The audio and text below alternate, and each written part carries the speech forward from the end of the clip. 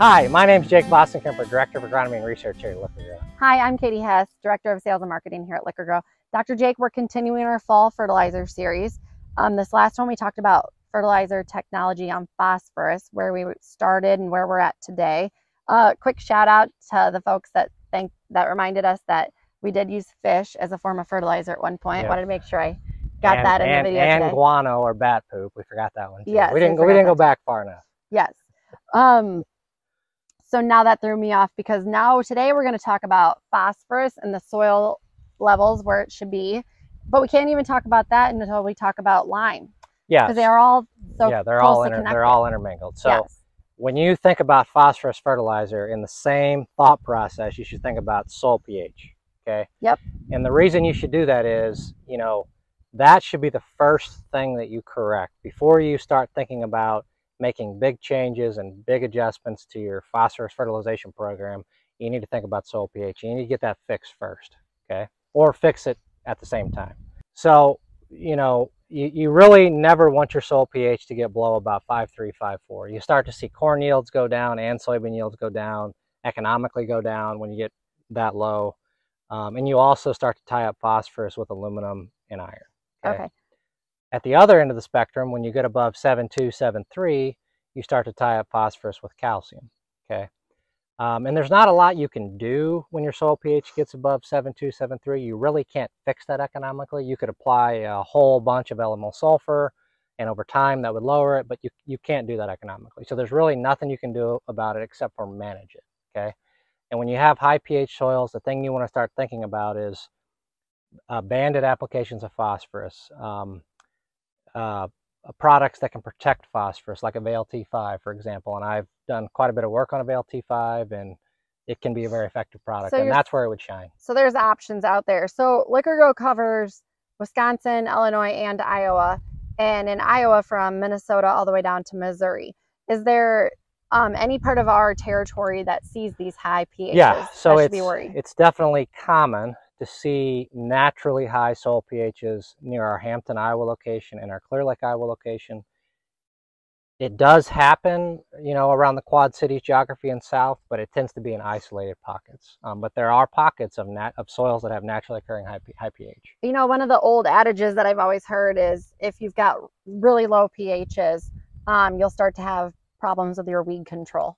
Is there anything to that? Yeah, there is something to that. Those herbicides are formulated to be most effective, you know, at pHs of 5.5 to, to 7, right? So if you get above or below that, you know, you can, you know, you can have herbicides that don't work effectively as too. I mean, you have to get pretty extreme, you know, and you shouldn't be out of those bounds anyway, but if you're having weed control problems, I wouldn't be surprised that soil pHs may be out of whack. Okay, so it's dry here in the Quad Cities and throughout most of our territory, although there are some that caught the nice rains. Um, and good for you. I'm glad that you're catching those rains. Uh, is now a good time to be pulling samples for those pH for the lime, or or should you just wait it out? Yeah, I, I think, you know, if you really think you need to make a change regarding liming, um, you know, you're going to have to decide that off a soil test. And unfortunately, right now, you're going to get lower pHs than you would normally have. I really think you need to wait for a rain or take those soil samples this spring, specifically for liming. If you think you have a soil pH problem, definitely go ahead and take those soil samples this spring to understand what the pH is and go ahead and apply lime this spring. So, Dr. Jake, this is the question people have been asking me for 15 years. What phosphorus level should I have out here in the field to be most well, efficient and grow the best a, yields? That's a great question, and here's where we're going to get into kind of the. Uh, there's a couple philosophies out there regarding phosphorus fertilization approaches. Okay, there's the build and maintain approach. With the build and maintain approach, the idea is you're fertilizing the soil. Okay, and if you take that approach, you know you want to have soil test phosphorus levels, you know, at 20 or more. Okay, because you know, that would suggest that you will never have yield limitations due to a lack of phosphorus fertilizer, right? So if you're below 20 part per million, let's say you're at 15 part per million, that means that you need to build to 20 part per million, but you also are going to have to apply above crop removal, above and beyond crop removal to build, okay? That's one approach that's out there and widely used. Um, I think if you own your ground, or you're in a very secure lease situation, if that's you know the way you want to approach it, that's a that's a reasonable approach. And one big advantage to that is it allows some flexibility. You know, let's say that phosphorus fertilizer prices go through the roof for some unknown global phenomena like COVID, for example, or the war in Ukraine. Or Then it gives you some flexibility because you wouldn't have to fertilize. Okay.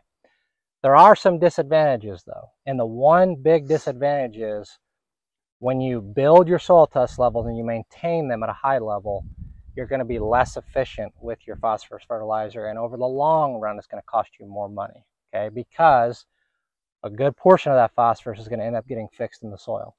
Will it come back? Some of it will come back, but you're going to be dependent on Mother Nature and the soil chemistry to cycle that back through. So you don't really know when you're going to get it back or how much you're going to get back. that uh, sounds like you're going into Elite Academy there, Jake. You can check more, more this winter. So, the other move into the approach, next one, the other approach is the sufficiency approach, sufficiency, Okay. starting with an S. starting with an S.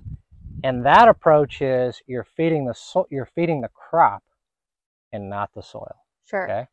So with that approach, you're more focused on timely, you- you- you're focused on phosphorus fertilizer applications that can make that phosphorus fertilizer most efficient and maximize yield without having to spend extra money on phosphorus that you may or may not get back. Okay. And that's the approach that I personally like. However, it is best suited for folks who have short land, short, you know, uh, land uh, Leases. leases. Mhm. Um, but that's about 65% of the ground in the state of Iowa today. So there's a good portion of ground that would fall in that category. So the scenario would go like this. Let's say that you have soil test levels of 10 part per million, okay? It probably, no, it definitely is not economic, economical to use the build and maintain approach, okay? Because On you're a short-term lease. on a short-term lease. Right. Yes, for sure, it's not economical. So now you need to start thinking about what can I do to maximize the dollars that I spend on phosphorus. That would include things like banding.